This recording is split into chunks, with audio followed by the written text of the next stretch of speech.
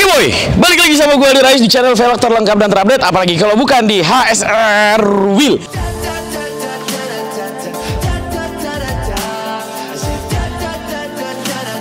Nah di video kali ini gue seneng banget. Kenapa? Karena gue bakal nyobain satu sensasi terbaru dalam hidup gue Ini achievement unlock nih ibaratnya nih. Di 2021 awal ini Salah, di kebalik Di awal 2021 ini Gue mendapat kesempatan untuk nyobain mobil elektrik.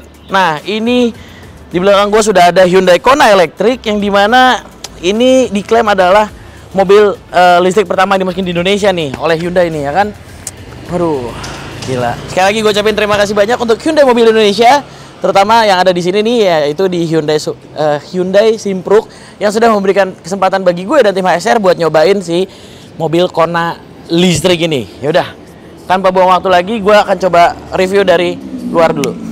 Nah, kalau misalnya kita lihat dari eksteriornya, jadi akan ada empat poin yang akan gue coba review. Eksteriornya itu menurut gue sudah sangat futuristik sekali. Kenapa? Di sini grillnya sudah dibikin sangat-sangat futuristik. Terus kalau misalnya kita lihat dari body sebelumnya sih, ini hampir sama kayak Kona yang sebelumnya. Tapi kalau gue melihatnya di sini yang pertama adalah di sini nih, fendernya. Fendernya sangat menarik perhatian gue karena dia dibikin hitam seperti ini. Apakah dipaksa untuk bukan dipaksa ya? Apakah uh, Hyundai ini mencoba untuk memaksa mobil Hyundai Kona ini kita rubah menjadi mobil off-road. Soalnya fendernya ada begini, ya. Nah, namun sayang sekali gue jujur gue kurang begitu suka sih ada aksen ini kayak lampu sen ya. Ada aksen lampu sen di sini kayak kayak tompel gitu loh. Cuman ya balik lagi ya, ini kan suatu ini kan pilihan ya Lalu selanjutnya dari samping kita lihat size skirtnya juga sudah terlihat manis banget. Perpaduan antara merah, hitam, dan warna silver. Oke banget. Spionnya juga dibikin sudah sangat futuristik sekali. Dibikin yang lebih kayak lancip gitu.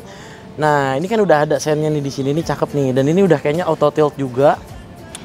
Lalu apalagi nih? Ininya sih udah ya oke lah standar, bagus. Lampu belakangnya kita lihat lampu belakangnya juga hmm, ini bagus. Tapi kalau misalnya emang ini jadi bakal jadi mobil project kita gue sih pasti akan ganti sih. Gue akan ganti bikin dia jadi sedikit lebih smoke dan dia ditambahin spoiler. Ini spoilernya sangat-sangat bagus bisa menjadi inspirasi juga nih kalau nanti mau bikin spoiler. Tapi walaupun dibikin panjang ke belakang tetap ada lampu remnya. Hmm, terus di sini ada emboss elektrik yang menandakan bahwa mobil ini elektrik. Oke dari luar sih itu ya. Velgnya velgnya udah pakai ring 17 dan info yang gue dapat itu dia juga sudah ada sensor apa tadi TPMS-nya juga. Jadi kita bisa ngecek berapa tekanan angin ban itu dari uh, dari dalam mobil ya. Blue drive. Oke okay, eksterior sih gue rasa udah cukup. Langsung aja kita mau review di undercarriage-nya. Undercarriage ya tadi uh, ban. Terus kalau shockbreaker-nya sih harusnya dia udah empuk. Karena dia udah pakai ban 17 juga bannya juga tebel. Harusnya udah oke. okay remnya juga depan cakram belakang belakang juga cakram ya? Oh iya belakangnya juga udah cakram. Udah ngebantu banget dari sesi pengeremannya udah berarti bagus. Gue udah gak sabar sih pengen nyobain mobilnya. Kita langsung cobain aja lah ya. Ya kan? Gimana? Lu setuju nggak? Nggak gue orang setuju. Kita lihat dulu engine bay nya ada apa aja di engine bay nya kita lihat dulu. Nah untuk di dalam engine bay nya sendiri di sini ditutup dengan cover yang cukup rapih menurut gua dan dikasih aksen warna biru yang menandakan bahwa ini adalah mesin listrik. Nice. Eco teknologi.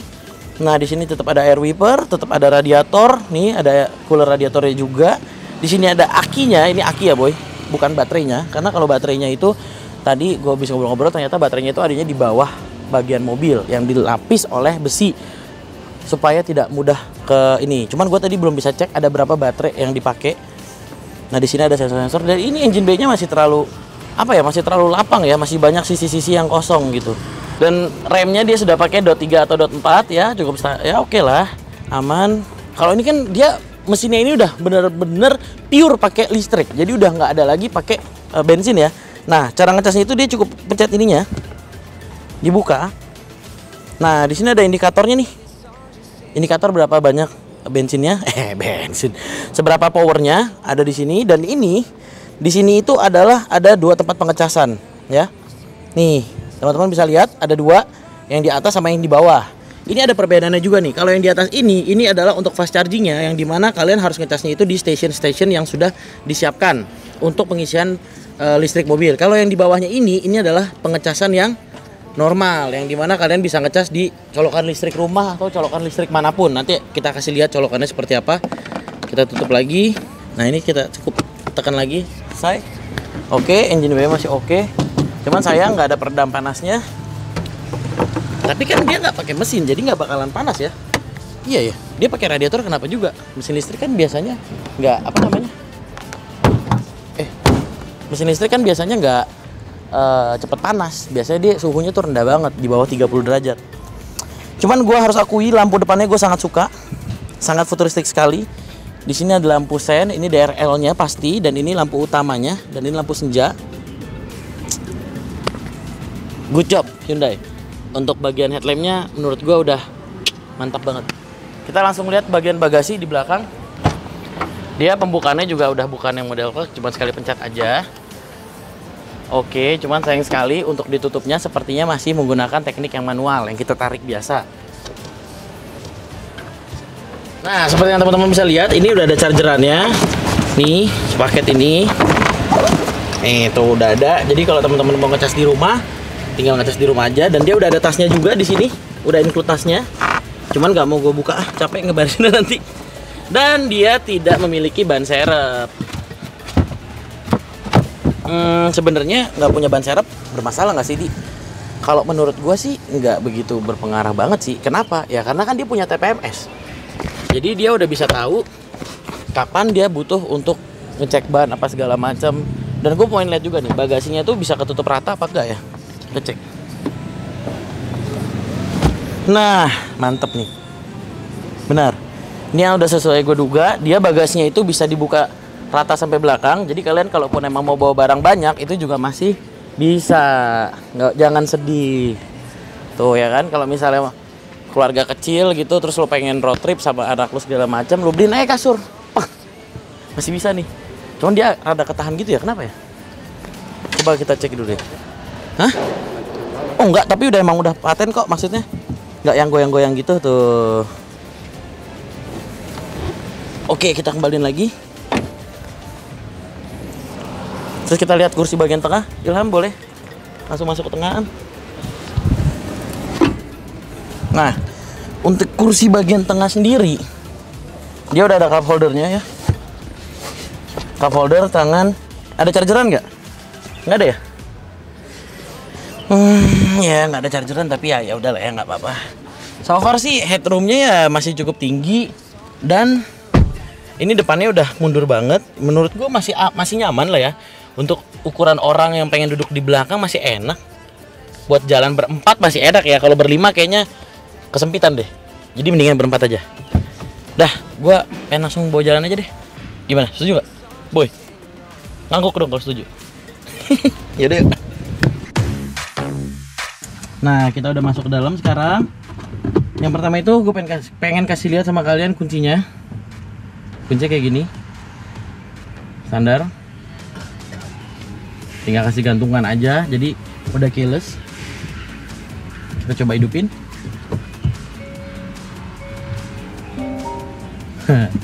kita cobain dulu joknya. Kebetulan joknya ini udah jok elektrik. Tuh. Dan dia cukup responsif banget jok elektriknya menurut gua dan bisa naik turun depan belakang persis sudah kayak mau Obri standar jok elektrik keren dengan fitur-fitur di setirnya yang udah cukup lengkap nih. Ada yang buat ke apa namanya uh, steering control terus ada cruise controlnya juga. Jadi kalian nanti nggak perlu ngegas tinggal diemin mobil aja dia bisa jalan sendiri. Dan lampunya juga sudah leveling. Ini keren sih. Lampunya juga udah leveling ya. Nggak mau kalah sama Obri Oke, kita gue coba bawa jalan dulu ya. Ingat, yang pasti tetap menggunakan seat belt. Tapi gue pengen cobain ini sih. Am, sunroof. Gue mau cobain. Oke, cara ngebuka sunroofnya nih. Nah, dia cukup sekali tekan aja. Udah elektrik ya. Coba kita tutup sekarang. Oh, dia bisa manual, bisa elektrik juga. Oke. Dan bisa dibuka ke atas nggak? Oh nggak bisa, dia cuma satu arah doang berarti. Nah kalau dalam keadaan tertutup, otomatis dia akan selalu terbuka. Tuh. ini dia ikutan kebuka. Nih ini, ini. bisa lagi nggak? Oh bisa mundur lagi. Oke gue coba bawa jalan deh. Nih kalian bisa lihat persnelingnya itu udah nggak lagi pakai yang tongkat-tongkat gini-gini. Dia cuma bener-bener touch and touch aja. Ini oh nih nih nih. Ini kayaknya fast charging nih. Coba ya tes ya. Masuk. Tuh ngecas dia.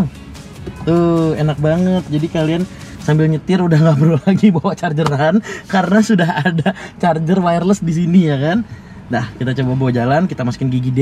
Sini sini sini. Ini harus dikasih lihat. Ini cukup pencet D doang. Nah pintu langsung ke kunci otomatis. Kita turunin handbrake nya dan ini dengan menggunakan mode eco. Coba kita lihat. Oh ada yang comfort ada yang sport. Kita langsung cobain pakai yang eco dulu deh.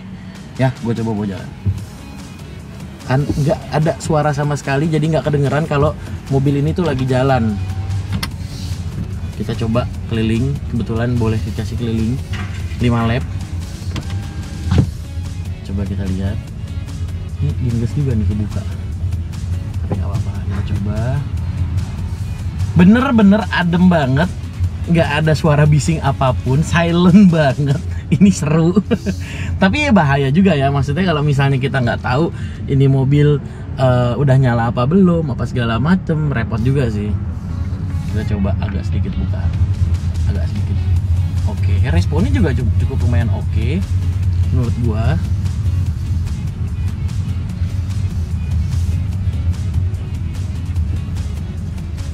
Hmm, untuk handlingnya masih enak ya kita dalam bentar dulu kita tutup dulu kita bicara dalam keadaan jalan pelan ya. Ini tadi gue jalan tuh maksimal di 20 km per hour gitu. Nah ini enak banget. Tapi ini kita masih cobain dalam kondisi eco. Dan gue uh, akan penasaran banget mau nyobain yang mode sportnya habis ini. Sabar ya. Wah, spionnya juga udah hmm, oke. Okay. tapi sumpah sih ini menurut gue uh, mewah sih ya. Fitur-fitur yang di dalam mobil ini tuh mewah. Tuh banget. Sekarang gue mau coba di mode uh, langsung aja ke mode yang dia ada tiga eco comfort sama sport. Gue mau langsung coba yang di sport. Uh ketika di sport dia tampilan speedometernya langsung berubah. Nih ketika ada, uh, kita rubah ini kan modenya mode yang eco. Ini tampilan mode eco. Ini comfort dan gua kayaknya pengen langsung nyobain yang mode sport. Tuh langsung kelihatan berubah jadi udah kayak jadi mobil balap. Aku coba jalan lagi ya. Harusnya sih sangat-sangat responsif ya. Ini belum digas nih. Ini gue cuman baru buka rem doang. Coba. Wah gila sih. Bannya sampai sprint ya kan? Wah gokil sih ini. Bannya sampai sprint boy. Gila ini. Ini gokil sih segitunya. Ini kencang banget berarti harusnya mobilnya ya. Bannya sampai sprint boy. Gue nggak tahu lagi. Sumpah ini bannya langsung sampai sprint tadi. Sampai dua kali sprint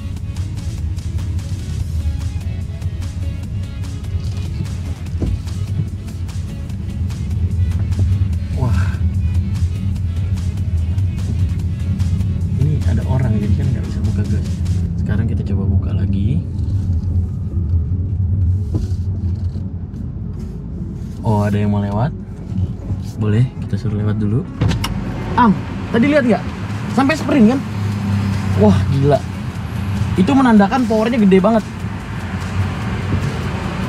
Gue coba lagi ya. Am dari situ.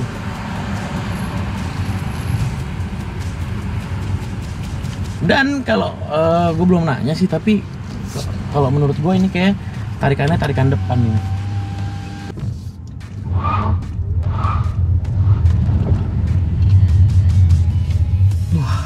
gokil dia bisa sampai sprint dua kali tiga kali dengan wah ini sih mobil kencengnya pol sih.